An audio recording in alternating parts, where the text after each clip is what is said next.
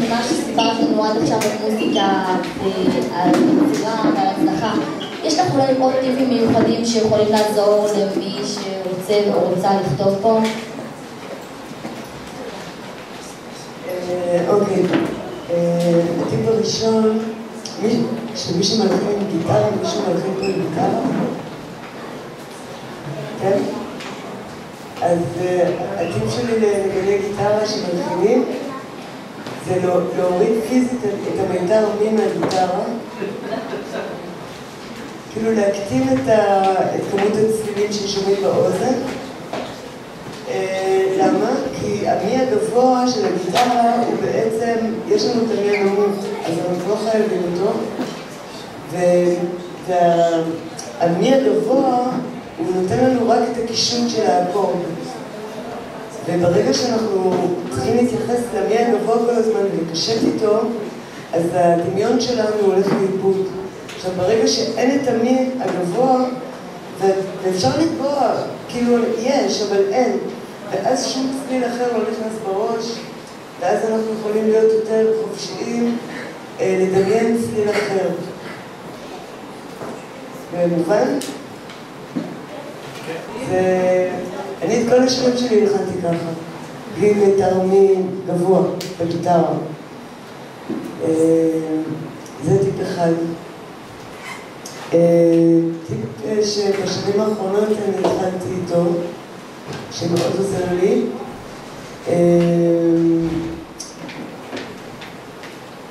כשאני בוחרת טקסט להלחין, אז אני מתיקה אותו.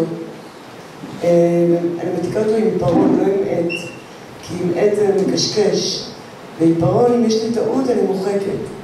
עכשיו, כשאני מתיקה, אני לא כותבת שורות ארוכות, אלא אני מתיקה לה, כמה מילים, כמה מילים, כמה מילים, שהעין תקרא מהר, לא תקרא ככה וככה.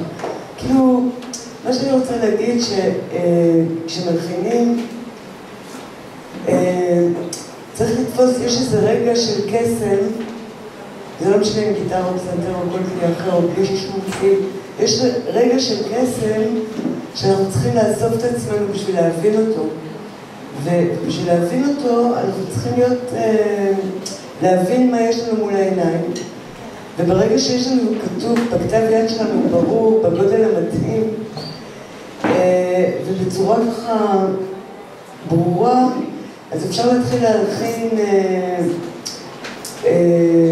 אני יכולה לתת עוד טיפ לגבי הלחנה של טקסט, שאני עושה ככה, נגיד אחרי שאני העתקתי את הכל,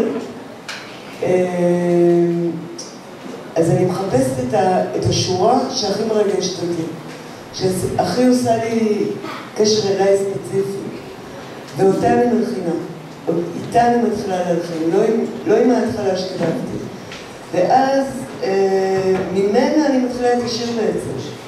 לפעמים הכל יכול להשתנות, אבל אני רוצה לספר לכם משהו שעשיתי ככה וזה לא עבד, זה לא תמיד עובד. הלחנתי לפני שנתיים את מגילת קהלת, את כל המגילה, מההתחלה ועד הסוף, אבל אני עשיתי כמו שאני רגילה, התחלתי להעתיק, היה לי מחברת, זה 12 פרקים, לקח לי שבוע להעתיק את זה, ואחרי שהעתקתי את זה, לא הבנתי כלום.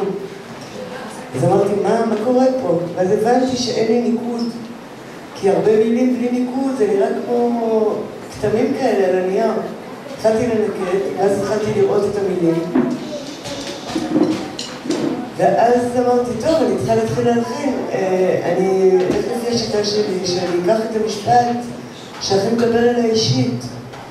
ואני מסתכלת על קהלת, אני זה, ואני אומרת, המשפט שהכי מדבר אליי אישית בקהלת, זה שהוא אומר, ובניתי פרדסים וגנות. ואני גרה בגנות. אמרתי, הוא מדבר על גנות, אז אני, זה המקום הכי קרוב אליי, אני מתחילה עם המשפט הזה. ואז אני יושבת באולפן שלי, לוקחת את הספר, לוקחת את הגיטרה, שמה מיקרופון, תמיד אני מלחינה עם מיקרופון, מקליטה. ומתחילה את הרגיל שלי, לוקחת ופותחת את הדף שאני רציתי, ומתחילה, ולא יוצא לי כלום, שום דבר. ואני לא נבהלת, אני אומרת, רגע, מה הוא אומר קודם? ואז הלכתי אחורה בדפים, ואמרתי, זה לא יכול להיות שאני אתחיל מפה בלי שאני אתחיל מפה. ואז באותו רגע הבנתי שאני צריכה להתחיל את הכל מההתחלה ועד הסוף. כאילו זה היה אותו רגע, כאילו המחשבות שלנו כל הזמן זזות, כאילו נכון, יש לי אפשר... אני עושה ככה וככה וככה, אבל פתאום משהו משתנה, אבל הוא צריך להיבהל, בגלל שאתה רגיל למשהו. אלא אתה צריך כאילו, כל העניין הזה להיות כל הזמן אה, דינמי ולא, ולא להיות עם... אה, להתאים את עצמך. כן, להתאים את עצמך לרגע שלך, להיות קליל, לא, לא כבד.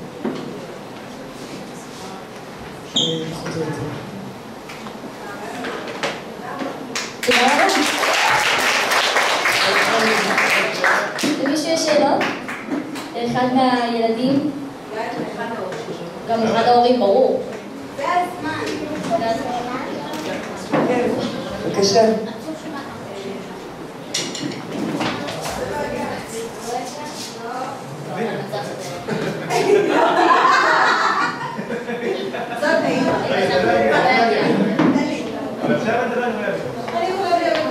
כן, בבקשה. קודם כל, אחד הדברים שהכי משמחים אותי בבית ספר הזה, זה שבוחרים את האומנים שאנחנו כהורים הכי הערכנו. לאורך השנים שאני שומעת את הקונצרטים כאן, רק נעשה יותר ויותר טוב, מבחינתי לפחות, את, קיבלת הכותרת משירים שלך, זה חלק מהפס כל שני.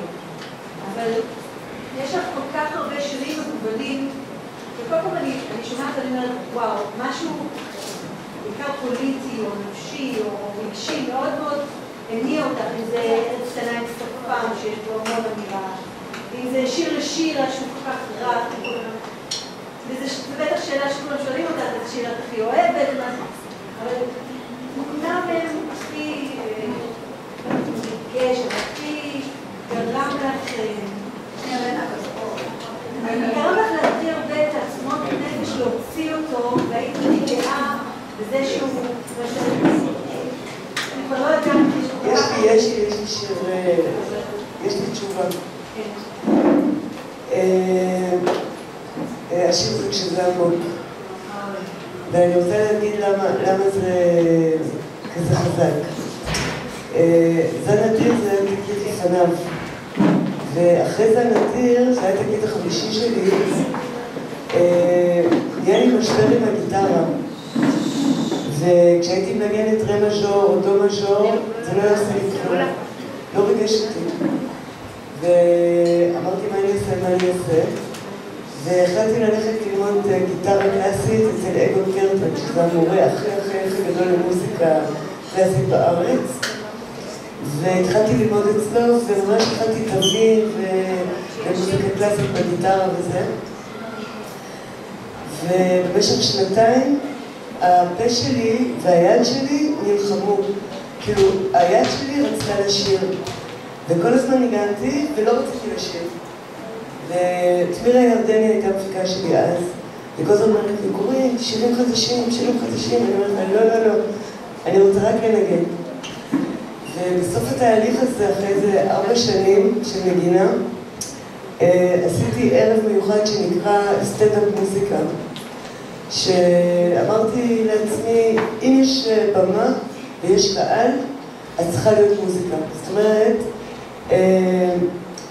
אני רוצה ש... להיות עם חבורה של אנשים על הבמה ולהמציא מוזיקה, בלי שנדע מה יהיה קודם. ועשיתי 11 קונצרטים כאלה עם 15 נגנים על הבמה. וזה לא היה בעברית, וזה לא היה בשום שפה, זה היה משהו חופשי לגמרי. והיו לי אפקטים, בשירה עשיתי לי אפקטים של נטע קטנה בגבוה, ושל בו, ושל קיבוצניק כזה שמדבר ככה. וזהו, היו 11 מופעים כאלה, היה מאוד מיוחד. ואחרי הופעה 11 הבנתי שאני חוזרת על עצמי ונמאס לי. והתקשרתי לכל החברים ואמרתי להם תודה רבה. ואז אמרתי, אני חייבת להלחין, לחזור להלחנה, כי כשאת עושה דברים חופשיים, את עפה באוויר, כאילו מוזיקה זה או שמחזיק אותך באדמה או שאת עפה. והייתי במצב של עפה, ולא הצלחתי להגיע לאדמה. והייתי בבעיה, כי כל הזמן אמרו לי, תקליט, תקליט, תקליט, מה אני עושה? ואז הלכתי לפסיכולוגית שלי. לא הייתה לי ברירה. וסיפרתי לה שהיה לי משבר עם הגיטרה, והתחלתי ללמוד גיטרה קלאסית, והתחלתי לשיר עם הגיטרה, והקול שלי לא רוצה לשיר, כאילו רק היד שלי רוצה לשיר. אז, והיא לא מבינה במוזיקה.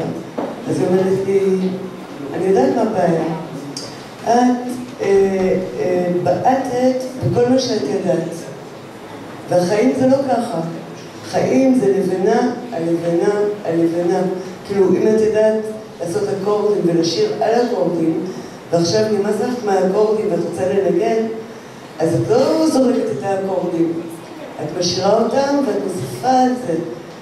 בקיצור, אה, אחרי הסשן שלי בפסיכולוגית כתבתי את כשזה עמוק. כשזה מתחיל ב...